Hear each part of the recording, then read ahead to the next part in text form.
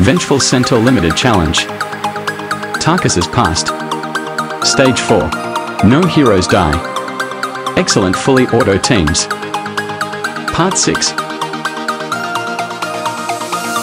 Welcome back to Z Gaming Tips channel. In this video, I am showing you how I completed the Vengeful Centaur Limited Challenge, Tarkus Past, Stage 4 with auto modes. Don't forget to subscribe my channel. Thank you. Auto mode 11. Four. Cleansing beginning. Before we start if you enjoyed these kinds of videos and find them helpful do me a quick favor and gently hit the like button by giving it a gentle tap.